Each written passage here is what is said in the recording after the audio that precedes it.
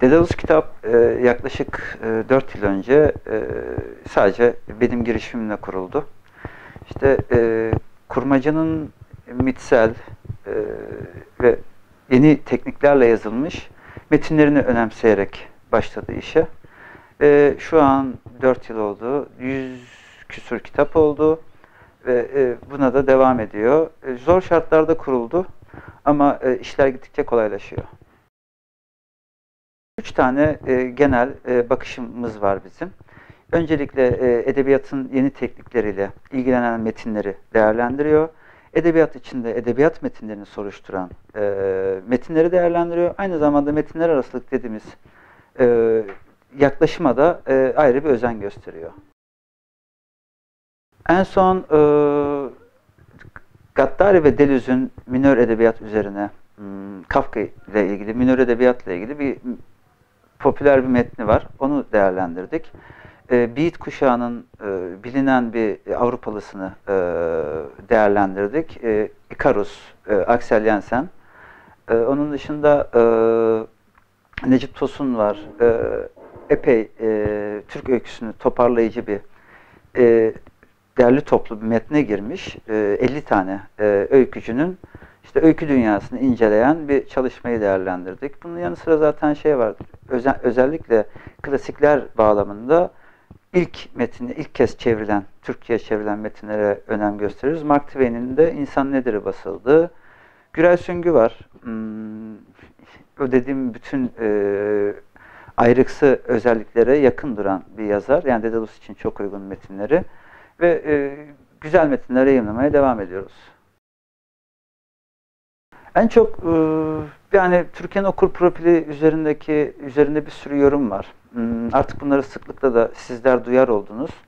E, biz bunlarla ilgilenmiyoruz. Yani e, ama açıkçası söylemek gerekirse Dedalus'u yansıtan okurlar, Dedal, kitaplar Dedalus'ta ilgi görüyor.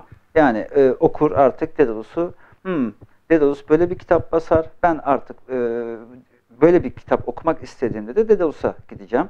Onun kitabını e, okuyacağım diyor. Onun bastığı kitabı okuyacağım diyor. Az önce saydığım özelliklere sahip metinler ilgi görüyor. Yanı sıra e, elbette klasikler e, değerlendiriliyor.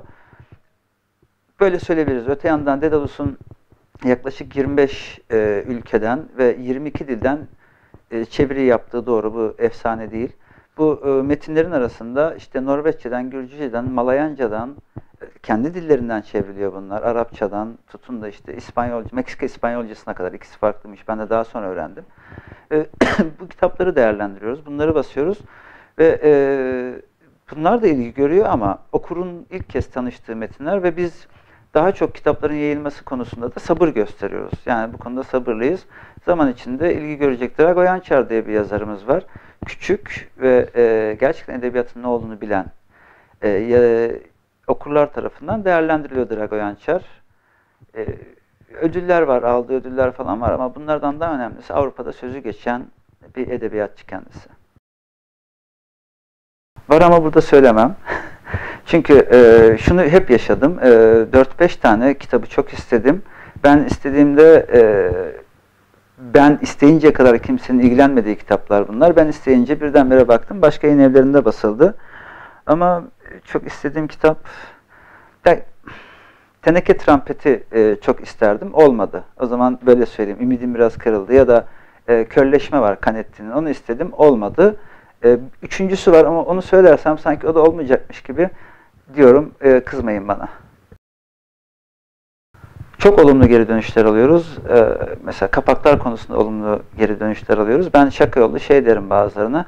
Kapak güzel, içi de güzel falan filan diye espriler yaparım sosyal medyada ya da doğrudan yazışanlarla benimle. Ee, seviyorlar okurlar. Ee, mesela yine Dedalus okurların seveceği yazarlar geliyor. Bilmiyorum artık ne kadar genele yayılmış ama Spencer Holst e, basılacak ya da e, eğer e, çok yakın zamanda Friedrich Dremant diye bir yazar var. O da e, oldukça bilinen bir yazar. Ve bunları duyunca okurlar seviniyor. E, bugüne kadar e tabii ki her yayın evinin hataları var. E, biz de hatalarımızla eleştirildik ve bu eleştirilerin sürmesini istiyoruz ki biz de kendimize çeki düzen verelim. Biraz daha e, meseleyi dağıttığımızda okurlar bize bu konuda yardımcı oluyorlar ama daha çok olumlu e, görüşler geliyor. Seviniyoruz onlar için. E, sonuçta ben e, editör e, okur e, kesimden geliyorum. Yayıncılığa böyle başladım. E, okunması gereken e, benim başucumdan ayırmadığım birçok kitap var ama aralarında az önce saydığım iki kitap vardı. E, işte Canetti'nin Körleşmesi var. E, Teneke Trampeti var Günter Grass'ın. E, yanı sıra çok önemsiyorum. Hmm, az önce Dragoyan Çar demiştim. Onun yanına Pacheco yani e, şöyle bir şey söyleyebilirim. Şey derler, e, hani her ülkenin bir Said Faik'i vardır. E, Meksika'nın Said Faik'i e, Pacheco yakın zamanda vefat etti. E, Birçok işte ödüller falan tabii ki bunlar önemli ama bunlardan daha önemli olan Pacheco'nun e, dünya edebiyatına oluşturduğu etki ve bu etki gerçekten çok olumlu. Ben Pacheco'yu tavsiye edebilirim.